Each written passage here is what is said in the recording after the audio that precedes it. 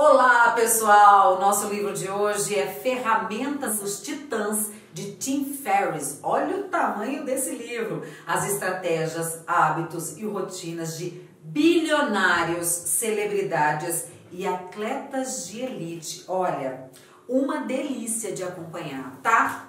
Olha essa, você sabia que Arnold Schwarzenegger, antes de ser famoso, de ser aquele ator que a gente conhece hoje em dia, ele já foi pedreiro e ficou milionário apenas atuando no ramo de imóveis? Gente, é isso mesmo, antes da fama. Pessoas de grande sucesso já enfrentaram diversos desafios para alcançarem o lugar onde estão hoje. E cada um deles possui hábitos e rotinas que contribuíram para isso. Ficou curioso? Quer saber quais são esses hábitos? Eu vou contar tudinho para você a partir de agora. Gente, Ferramentas dos Titãs foi publicada em 2017 é, e engloba mais de 130 entrevistas realizadas pelo autor, além dos ensinamentos extraídos de cada uma delas. Dentre as entrevistas que estão nestas páginas aqui, olha só: Arnold Schwarzenegger, Tony Robbins, Kevin Costner, é, Jane Foster e Paulo Coelho. Olha só! Ou daqui uns dias vai ter Lili, brincadeira. Esse livro aqui, ó, tem três capítulos. Ele aborda saúde, riqueza e sabedoria. São 765 páginas de discussões e insights que você pode aplicar na sua realidade e assim se tornar um titã. Por isso que eu tô te falando. Eu tô colocando esse e muitos outros ensinamentos prática. Eu quero me tornar sim uma titã. E você? Quer conhecer mais sobre esse livro?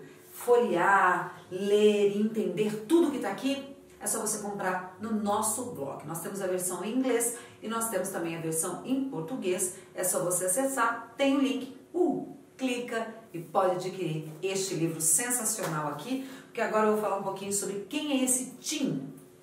Ele é um multifuncional, tá gente? É empresário, é palestrante, é escritor, investidor, anjo, tem um podcast chamado The Tim Ferriss Show.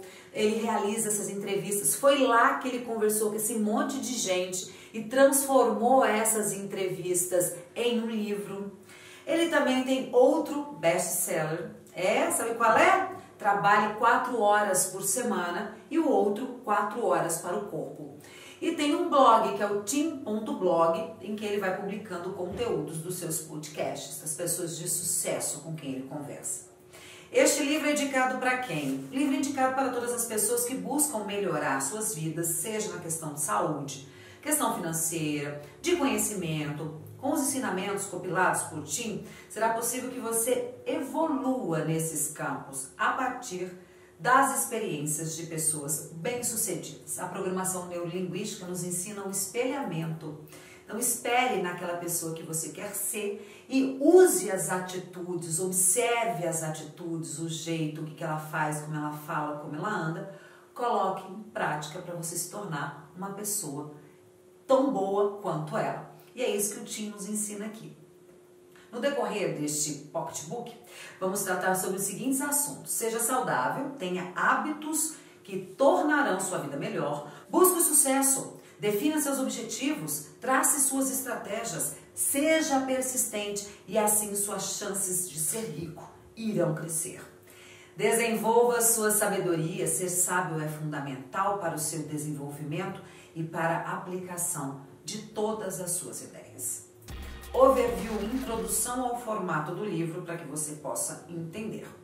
Tim define no prefácio da obra que este livro é um buffet, pois ele está oferecendo uma gama enorme de entrevistas, conhecimentos e práticas de pessoas que alcançaram o sucesso de alguma forma, seja como grandes atletas, grandes artistas ou grandes empresários. No decorrer da leitura, é possível escolher aquelas pessoas que você já conhece e admira e primeiramente entender as dicas delas, ou até mesmo se surpreender com alguém cujo nome você nunca ouviu falar. Como nosso objetivo neste texto é oferecer um resumo do livro para poder absorver 10 horas de conteúdo em 10 minutos, não seria possível passar por todos os entrevistados. Assim, Nosso objetivo aqui é conversar com você agora e apresentar os principais ensinamentos e as melhores dicas que o livro nos apresenta, mostrando também algumas práticas que podem ser aplicadas em suas vidas, tá? Então nós vamos fazer um resumão mesmo, trazendo só os principais pontos. Se você quiser adquirir, é só entrar no nosso blog que você compra a obra completa. Nossa primeira parte, a parte 1, é sobre saudável. A primeira parte do livro traz boas práticas sobre como ter uma vida mais saudável, entrevistando grandes atletas, treinadores, pesquisadores e médicos. Tim engloba tópicos como algumas curiosidades e práticas que ele mesmo experimentou. As pessoas contaram para ele, ele experimentou e buft, colocou aqui pra gente. Olha só os tópicos. Cerca de 80% dos entrevistados possuem algum método de meditação, do método mais simples ao mais complexo. Percebemos que buscar ser uma pessoa centrada e focada auxilia no desenvolvimento e contribui para o seu sucesso. Meditação, métodos diferentes, métodos de respiração, enfim, cada um tem um jeito de se reconectar consigo é uma boa prática. Muita gente me pergunta se eu faço, eu digo que sim, e as pessoas falam: Ah, Lili, você faz porque você é toda aí, busca ser diferente, busca essa autoconexão. Não, você não precisa ser zen, é uma forma de conexão com você. Outra que eu tô colocando em prática, haha, tomar banho gelado pela manhã ajuda a ter mais disposição para o dia, melhora o humor e você tem mais saúde. Eu faço isso todos os dias, independentemente se tá frio, se tá calor, tá? Mas ele fala o seguinte: não comece direto com banho gelado. Vá pro quentinho e depois comece diminuindo a temperatura, tá? Para o seu corpo ir se acostumando com as baixas temperaturas. Eu já vou direto. Eu tentei começar, começar no quentinho e ir pro frio. Só que eu não me adaptava. Então agora eu já entro lá, yes, yes, yes, e entro no gelado. Vê se funciona para você, tá? Outro ponto. Não existe uma fórmula correta para a saúde. Cada pessoa reagirá é, de uma forma a cada coisa e a melhor forma de descobrir como funciona para você é experimentando. Então, o que, que você gosta? Eu, geladão direto, tá? O Matt, programador original da plataforma WordPress, diz que se você quer entrar em forma, comprometa-se a fazer apenas uma flexão por dia. Não há como argumentar contra fazer apenas uma flexão por dia. Com isso, ele demonstra a importância de criar hábitos. Eu falo uma coisa de cada vez, já entra na academia, fazendo cinco vezes na semana, três horas por dia e não dá conta. O ex-treinador da equipe americana de ginástica, Christopher Sommer, fala sobre a importância dos exercícios e do alongamento para a nossa saúde. Mas para isso é preciso persistência. Muitas pessoas não conseguem nem se alongar. Então faça alongamentos e assim você terá mais energia. Comece, gente. Persistência é manter o ritmo, não é começar aceleradamente e parar. Café da manhã é um assunto polêmico, por exemplo, no meu caso eu não tomo, então tem pessoas que têm ótimos resultados tomando aquele café gostoso e saudável e algumas outras pessoas optam por não tomar. Então aí é a necessidade de cada um, observe a sua. E cada pessoa que ele entrevistou, cada titã, é, tem um ritual matinal importante, tá? Independentemente de qual ritual seguir, é importante ter essa rotina matutina. Tá? Faz com que você tenha mais disposição, seja mais produtivo e se sinta melhor. Como o livro diz, quem vence amanhã vence o dia. Eu sou prova disso. Olha que bacana! Esses ensinamentos não, não, não tenho tirado aqui do Titãs, não, tá? Eu aprendi, estou aprendendo com ele também, mas são outros livros que têm feito parte, assim, os livros que fazem parte da minha vida. Overview 2, parte 2, rico. Agora que você já aprendeu dicas para viver de forma mais saudável, agora nós vamos mostrar como, tá? Como você chegar a realizar aquele desejo que você sempre quis ou a maioria quer, ficar rico. Primeiro ponto, se arrisque, busque crescer. Cris Saka investiu em diversas startups em suas fases iniciais, entre elas Uber, Twitter, Instagram. Mas para isso, Cris começou por baixo, estava presente em todas as reuniões possíveis, inclusive naquelas para as quais ele não havia sido convidado, tá? Ele chegava, sentava, falava, ó, Só vou fazer algumas anotações e funcionou. Você acredita que dessa forma ele conseguiu cargos no alto escalão de empresas? Ele estava onde precisava estar. Tem uma visão clara, gente, de seus objetivos. Arnold Schwarzenegger, Tony Robbins e Scott Adams são alguns dos que frisaram que é preciso saber para onde você está indo e o que você quer. Depois, precisa ter isso claro na sua cabeça e se esforçar para alcançar esses objetivos. Tony Robbins, grande coach sobre desempenho, por exemplo, faz uma preparação matinal diária sobre o que ele vai fazer, o que vai acontecer naquele dia, o que ele quer é propósito, tenha clareza o porquê você faz e para onde você quer ir. Não é bom a gente pensar só onde a gente quer chegar. Temos que ter claro onde nós estamos e quais os caminhos que nós temos que seguir. E o Tony faz isso. Onde eu estou? Para onde eu quero ir?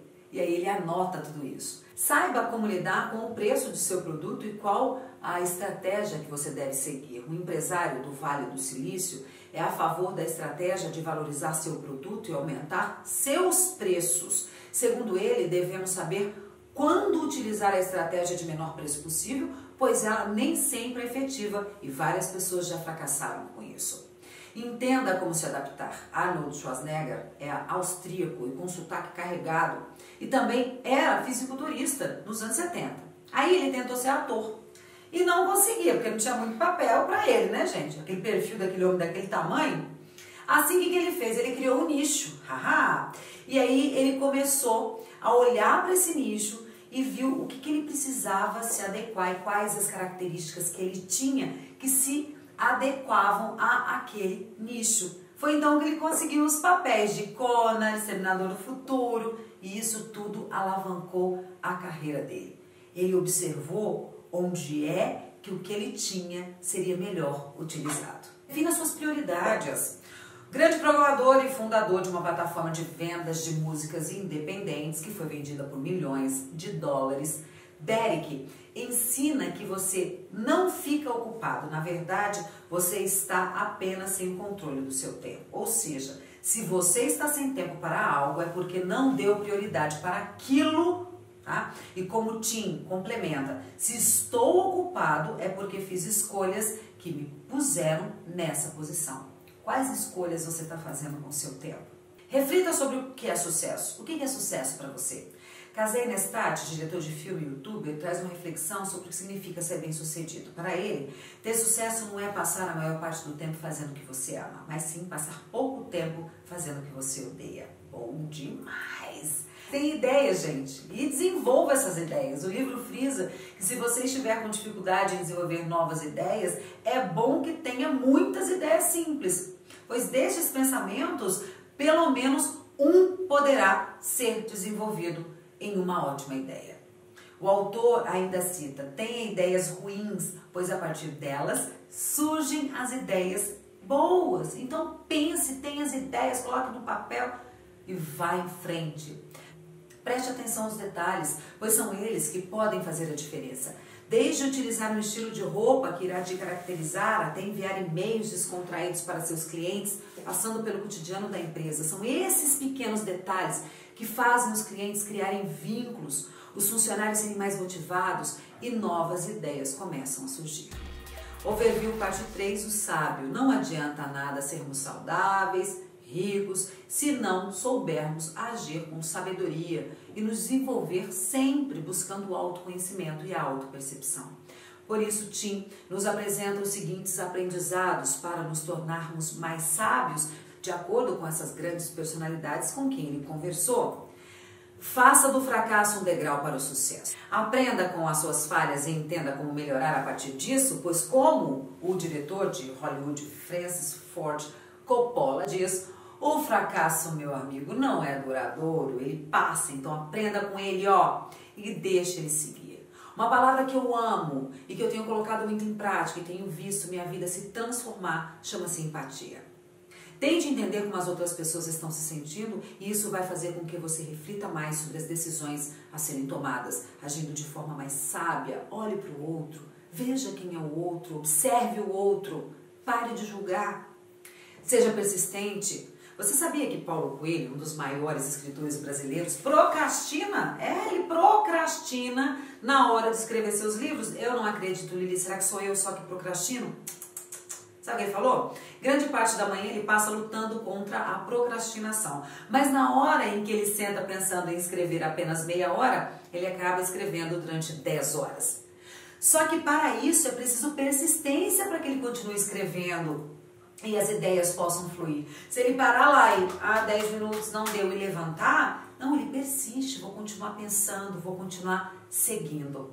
Outro ponto para ser sábio, imagine o futuro. Este ponto está muito alinhado a traçar um objetivo, mas quando falamos de pensar no futuro é para pensar em como a sociedade estará e como você pode fazer algo hoje para se adaptar às mudanças. Uma boa maneira de pensar sobre isso é o que você pode fazer para ser lembrado daqui 200 anos. Bacana, né?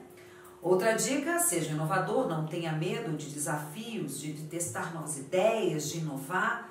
É preciso ser corajoso, pois ao fazer algo arriscado, você está fazendo o que outras pessoas não tiveram vontade de fazer. Questione a si mesmo. A obra traz a ideia de que boas perguntas geram boas respostas. Em outras palavras, quando nos questionamos, podemos formular respostas para nossas perguntas e dessa maneira podemos ter as melhores ideias. O que os outros autores estão falando a respeito?